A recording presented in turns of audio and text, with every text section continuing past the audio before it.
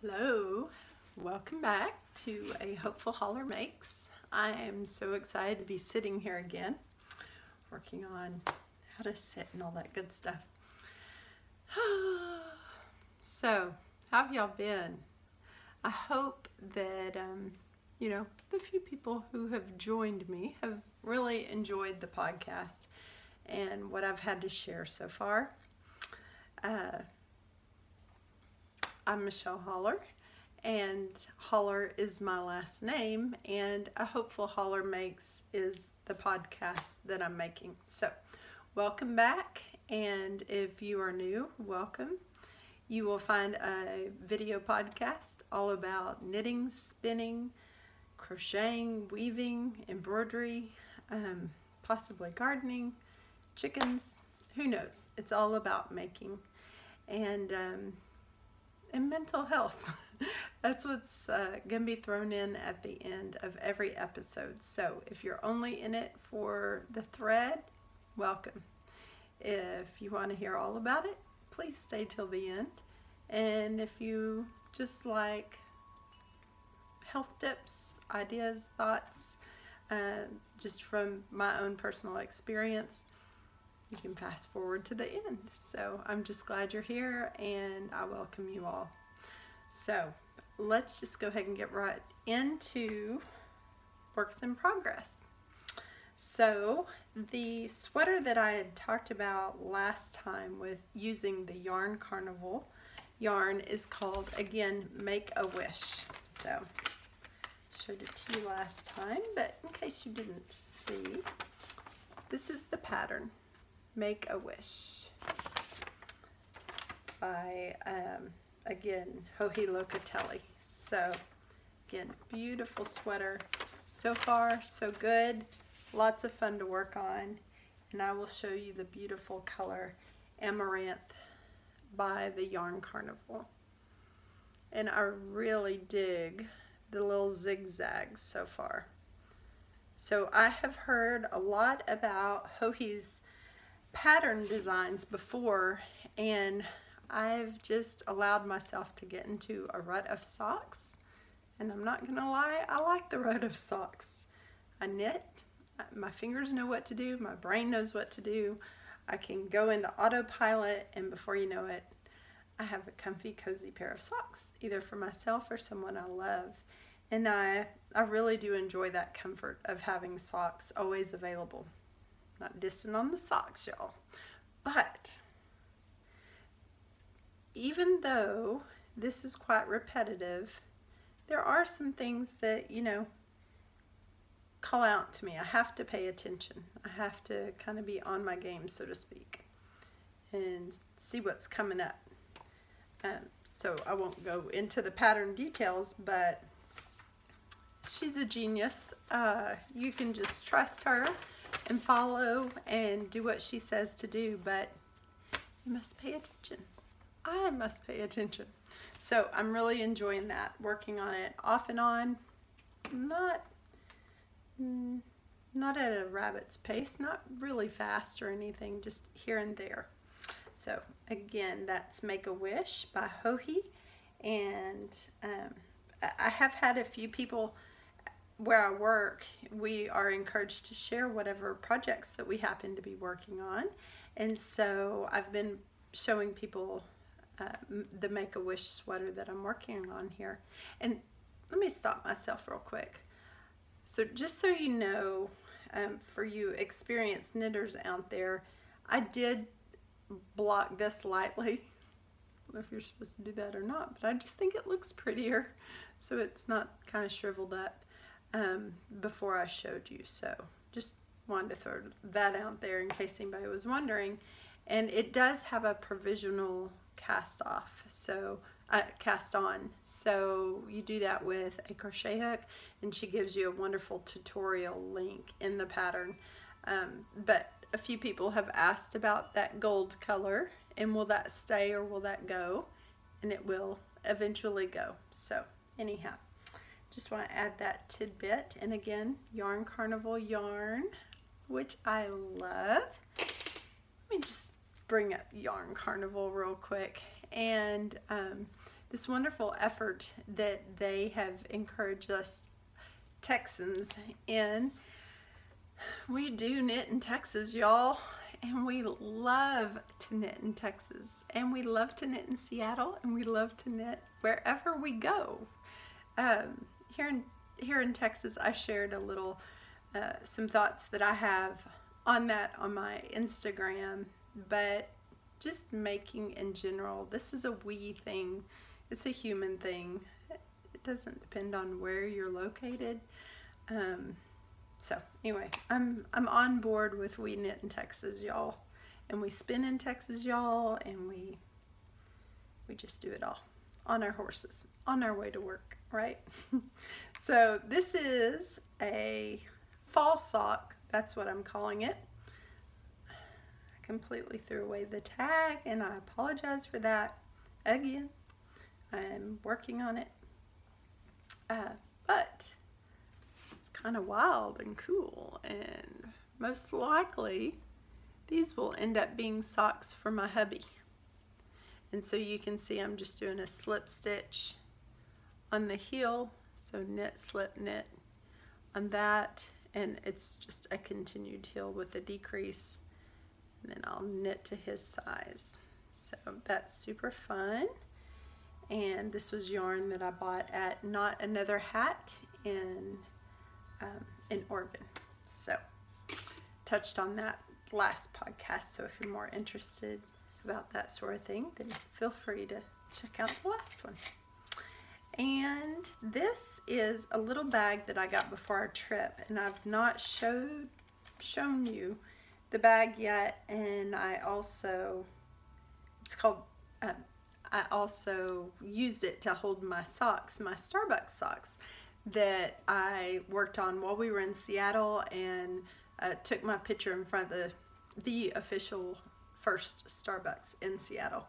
Uh, that's my pumpkin spice socks with Savvy Skeins yarn. And this is called a single single strand studio. And look how cute that is.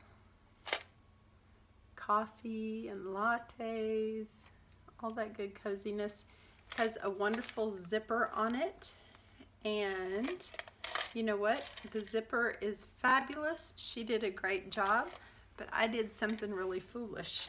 And I've done this a few times to myself, and I'm sure I'll be able to work it out. But what I did was, because I like it so much, I put my spindle, this is a supported spindle, inside my bag. So you experience. Folks can figure out very quickly what happened. This got caught in the zipper. Oftentimes I'll put it into a baggie and then put it um, into my bag but I didn't have a big Ziploc baggie and I just went with it and that's what happened. So anyway, eventually I'll be able to pull it out. I just haven't taken the time to do that but I really thought it was a nice little fun bag. And I do enjoy coffee. I am, because we're going to be talking about health, mental health, and I believe that connects very much with our physical health. I, unfortunately, am not a caffeine partaker these days. I had some issues with fibromyalgia and adrenal fatigue and coffee was one of the main things the caffeine in the coffee was one of the main things. Going to sit up so you can see my shirt which we'll talk about here in a minute. Uh, one of the main things that was causing me to have a lot of reactions in my body i just had really achy muscles. Um, there were other things contributing to that but once i cut out the caffeine among other things but specifically for me, I noticed caffeine made a huge difference. Uh, I spent a couple of days thinking, oh, it probably isn't that big of a deal, and had caffeine. And for me at that time, it was a very big deal. My muscles just really hurt. I was wanting to fall asleep about 5 o'clock in the afternoon, which is not my MO whatsoever. And um, wasn't able to go to yoga and this was all within this last year so I'll touch on that a little bit more if anybody has any questions or wants to discuss that further, we can certainly do that together because I am all about let's help each other. So, caffeine. So, I'd, so my point in that with that cute little bag uh, by Single Strand Studio is I do still enjoy very much the taste of coffee. I like my coffee black. Sometimes I like it with different tastes, um, different syrups or whatever added to it, but I, I don't do that very often. Mostly just black. Enjoy it. Not sure why you need to know that, but just wanted to share. Uh, continuing on with our works in progress, with my works in progress. What are you working on? What what you working on? If you were here, you know I'd be asking you, what are you working on? Please tell me you have a project going. At least one, maybe 10, maybe three. I usually try and keep three pretty active. So one that challenges me, and I know this isn't a new thought, I think we've all either figured out figured this out organically, um, looking at our time and the things that we want to do, as well as um, just what makes us happy. So by that I mean I like to have something like this. This is embroidery. And I don't know if I get it up real close. So that's embroidery, embroidery on just cotton. And it is a traced picture. And I am so in love with working on this. And honestly I've had it put down while I was working on my Find Your Fade because I had a goal date. I wanted to finish that before our trip. But this pattern oh just so much fun this pattern is from Crabapple Hill Studio Meg Hockey and so she has several designs. And then you could either just work these pieces alone or what I really want to do is work them all into a quilt. And so there's another one. It's really cute. And here is another one. And I, I believe I have a few more to, to purchase. But isn't that precious? I'm in love with a little place here in Texas called Wimberley. it's a fun place. And um, anyway, this just reminds me of Wimberley and it makes me feel like I'm there, even though I'm not. So if you're not familiar with Texas, Wimberley is in the hill country. So it's in the south central Texas. So that is all of my works in progress. And I want to show you an old project that I'm wearing. And um, I have my notes here. This is Old Town. That's the name of this pattern. So I'm going to stand up and let you see. It has a really pretty little lace pattern on it. I'll get a little bit closer so you can see. And then has a really nice, I don't know if you can see, excuse me, um, a really nice shaping, little bit of a decrease around there. And I made this a couple of years ago. And you can see I, I do have some mistakes when I was picking up, oh, I need to look at that, look at that. I have a hole. I didn't even realize. Ouch. Okay, we'll be going back to fix that. I've just recently started keeping all of my hand knits in a cedar ottoman that we have. But anyhow, I made some mistakes on the sleeves and I was very confused as I made it and didn't clarify, just kind of kept going. But I'm really pleased with it. I enjoy wearing it and I've had other knitters comment on it. Okay, so while we're here, and I'm showing you this, people can change. Yes, they can. Yes, they can. Um, so my point is, I am very pleased with this sweater. The yarn is from Madeline Tosh. Uh, when she had a brick and mortar store here in Fort Worth, I had the wonderful opportunity and blessing to work there for six months, and that would I, I feel like I gained a lot of really good experience with working with the public, and that served me well. Now working at the Log Cabin Village. And it helped clarify the fact that I never want to own my own yarn store, um, but I certainly enjoy uh, perusing, perusing a yarn store, uh, shopping at a yarn store, being friends with people who own yarn stores. Um, but I personally just, that's not something in my reality that I actually do want. In the fantasy, Michelle, yes, but there are other things that I would really love to do that I'm pursuing, but owning a yarn shop is not one of them. So that's it for progress, uh, works in progress. So I just wanted to talk a little bit about 2018. Happy Thanksgiving. It's here. This is Monday, uh, the 20th of November, and Thanksgiving is just a couple of few days away. And so, just within the last couple of years, uh, my mother passed away in 2015, and she would always purchase a planner for me because I guess she knew I really needed one. And um, for a couple of years after she got it for me, I would put it out on my desk and um, I would mostly just enjoy the pictures of what she got me and on occasion circle certain things and then I got more into the idea of organizing um, my time in certain rituals and certain patterns and things that I found helpful to take the chaos of my life and, you know, plan it down a little bit more.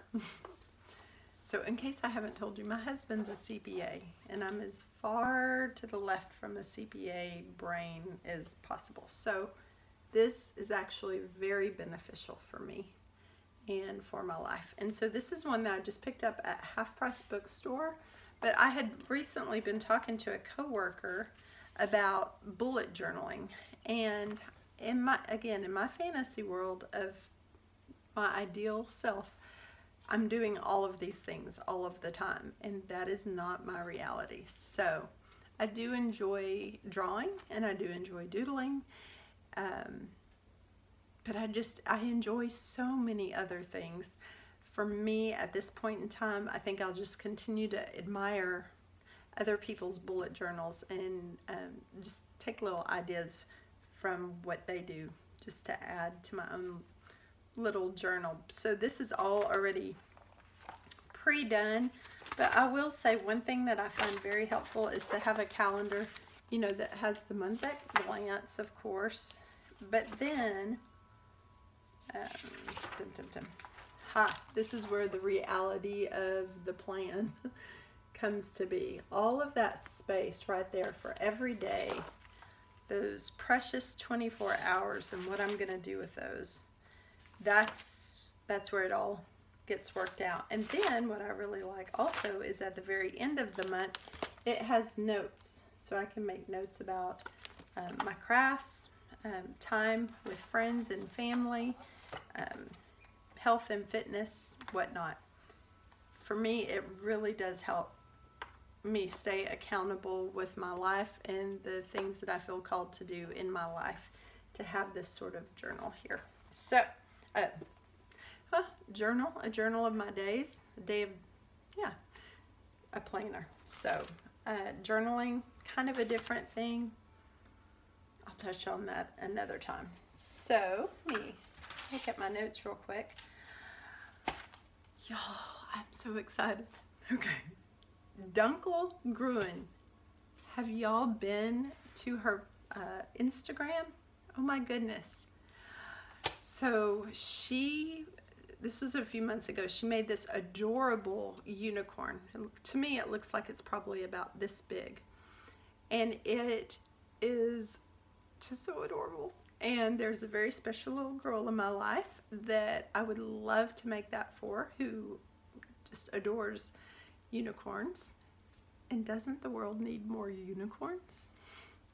So I volunteered to test knit and unfortunately I was late on that and so she already had enough test knitters so as soon as it was ready to sell I whipped that sucker up so I purchased the kit uh, so it has a pattern and the yarn for the unicorn and that's supposed to be coming from Germany uh, sometime this week and so she and I have been communicating and she wants to offer my viewers a free pattern. She wants to gift you a pattern. So I think I'm gonna do what I see everybody else do. I've never done this before. I've never done a giveaway.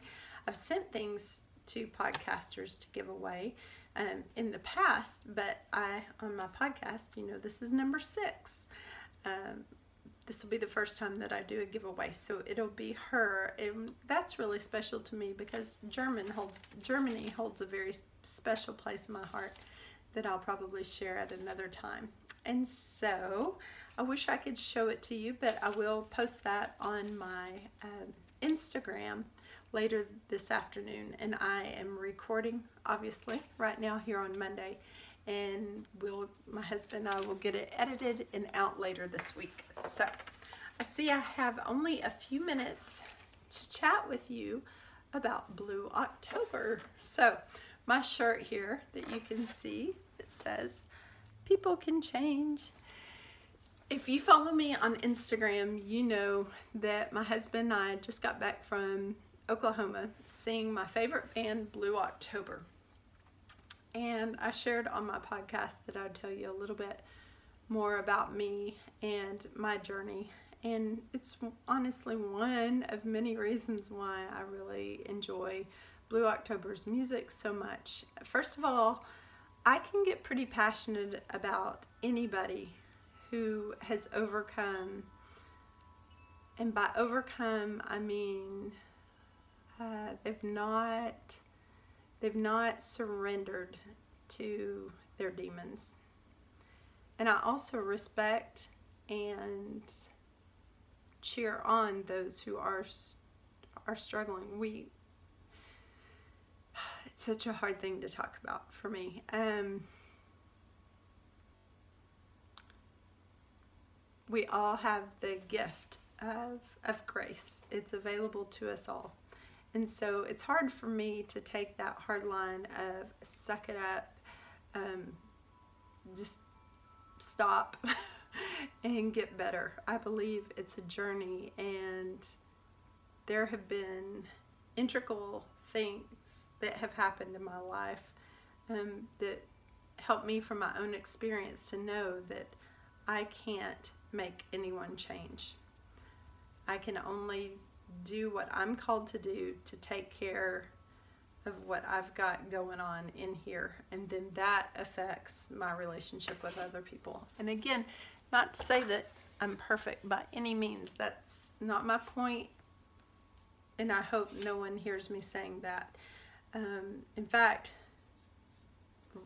right the complete opposite, that I recognize my defects. I'm aware of the loops that play out in my mind. And so um, self-compassion for me comes before I can be kind to you or see you truly for who you are and where you're at instead of judging.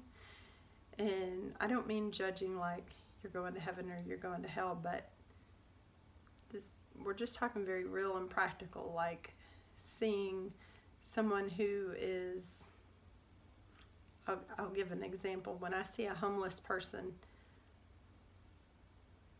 I have always had a very, um, very strong connection to the homeless and to the poor, um, feeling like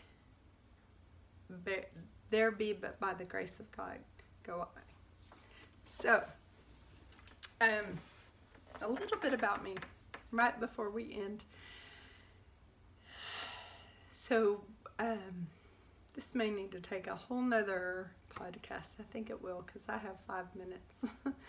but I, in my life, there were uh, traumas that happened when I was a child and I am open and I do cry not not because I'm still working through it but just anytime I share about anything I could be sharing about yoga and I start crying. Not because it makes me sad and I'm working through something but for me it's just it's so so intimate to to who I am. And again not that I identify with being um, traumatized but just in the sharing. I hope that makes sense. So